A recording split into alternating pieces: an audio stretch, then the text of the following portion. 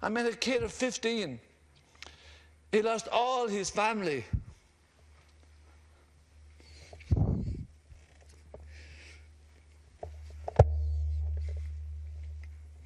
His brothers and sisters and his mother and father.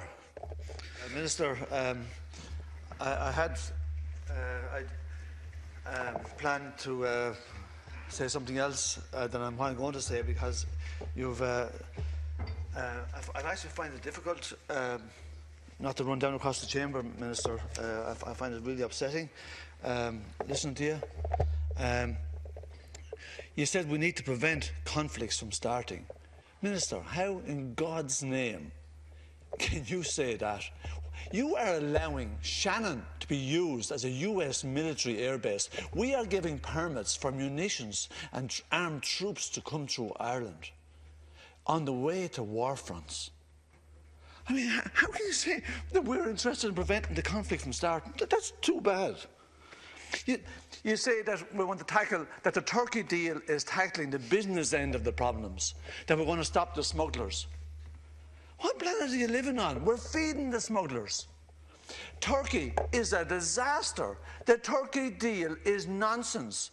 There's about 10 people a week being killed because of the Turkey deal. And we're actually killing people with the EU policies. We're drowning them. You, you say they're going to protect them. 500 people died in one of the boats that you're talking about 10 days ago. Do you know why? Because of the Turkey deal. You're going to drive them across the Mediterranean. You're not going to stop them from coming. Putting up the borders, building 30 foot fences won't stop them from coming. This is crazy. I'd wait till he finishes the conversation. No, you can talk away, Minister. I mean, I, you obviously don't listen anyway, even if you are looking at me, right? I mean, it's an absolute disgrace, yeah. actually. Your conduct is despicable. It really is. It's shocking. Please, please, can you proceed? Minister. Oh. Listen, as you know, we were over in Calais two weeks ago and in Dunkirk. And the smugglers in Calais and Dunkirk are the only people doing well because they're doing really well. They're making more money now than they were six months ago because it's getting more difficult to get in. But you know what? Most of them are actually going to get in anyway into Britain. They're actually getting in there, but they're having to pay. Families are paying 20,000 sterling to get to Britain from Dunkirk and Calais. Where's the money come from? Where, where the God's name did they get the money? Well, they had, they had their cousins and relations back home beg, borrowing and stealing in order to come up with the money for them. Now, God help them, I mean, thinking that when they get to Britain that they're, they're in the promised land, or Ireland either for that matter. But that's, that's neither here nor there. But the smugglers are making a fortune. They've doubled their fees lately, doubled them. The minimum for an individual is 8,000 sterling. 8,000 sterling. Most kids are still, are still chancing their arm with the trucks. They try and jump up between the cab and the trailer in the middle of the night in order to try and get up onto the roof or try to get into the back of it when the thing is moving. People are dying at it.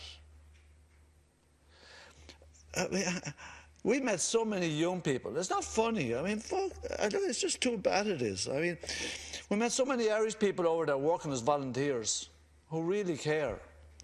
And just, we met a fellow called Dylan Longman uh, and another fellow called Dave in Dunkirk. I mean, they're just giving up their whole lives in order to try and help people over there. Karen Minahan and Sinead and Barbara and Fintan in, in, in Calais. There's a whole lot of Irish families that I'd like to help. There's, we were invited to dinner in a, in, in a, in a, in a, um, a makeshift cabin in, in Calais by a fellow called Khan. And there was nine guys there. They were all from Afghanistan. A couple of them told their story, but most of them said they couldn't because it was too upsetting. Most of them, the, the, the, the age, the youngest was 14, the average was 16, 17. These are kids. I mean, could we, could we adapt a policy that, can we do something around just minors even? Can Ireland become a champion of, of minors in, in the area of refugees? Could we, could we, could we go to Calais and Dunkirk and, and process some of these people and see can we take them in? And there's Irish families. It won't cost the state a penny. There's Irish families prepared to take them in. I promise I'll take in one myself. I met a kid of 15. He lost all his family.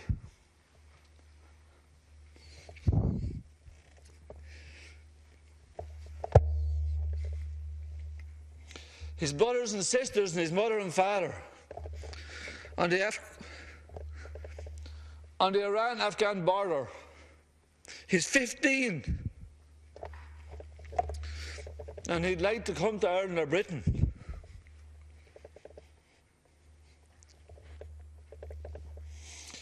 We've often argued in here that, that, Ireland has a great potential to play a very positive role as a neutral country in terms of what's happening in the world today, in terms of the militarisation of the planet. But we have been so silent and complicit in the role that the US and France and Britain have played in the militarisation of the planet. And you say, Minister, that we want to address the causes. We are so quiet about Palestine and the genocide that Israel is trying to carry out there.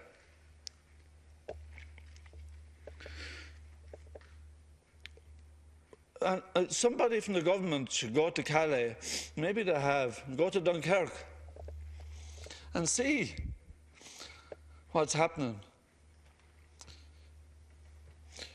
There was a guy, the Afghans told us about a fella.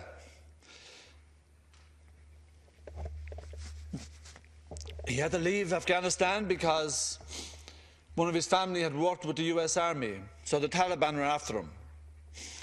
He spent six months in Calais, and mentally he just couldn't take it anymore. He went back, he turned himself in to the French authorities, and they got him back to Afghanistan. He was dead in two weeks. Afghanistan now is controlled 50% by the Taliban, 50% by ISIS, and the government are a sideshow. This is not a country to be returning people to. Calais is dominated by Afghans, Dunkirk mostly Kurds. You know what? I would love to see those two nations welcomed in Ireland, the people that we met. They were such good people. These are not people that are looking for a free ride in any form. These people would like to work and make a new life in Ireland where they're not afraid of being killed. They're not terrorists. They're running from ISIS and the Taliban. There's, there is potential for Ireland to, take, to have a different approach. We can do things different. We can show that we care. And I believe that most Irish people do. But sadly, the approach of the government has been abysmal.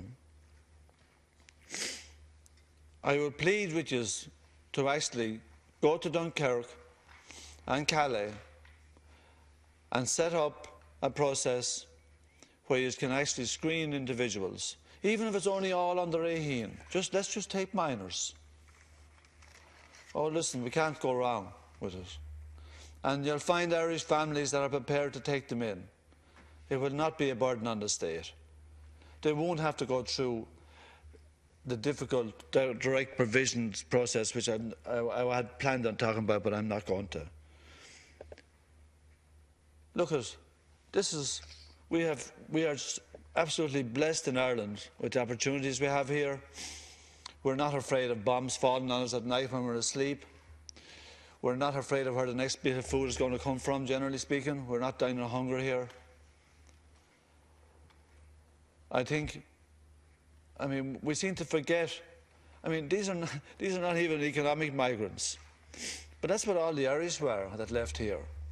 They went everywhere. There's millions of Irish all over the planet. And they were all economic migrants. Imagine if they were as unwelcomed as the Afghans and the Kurds and the Syrians were here. Let's look at that. Look at it again, please. Thanks. Thank you very much, Deputy Wallace. Deputy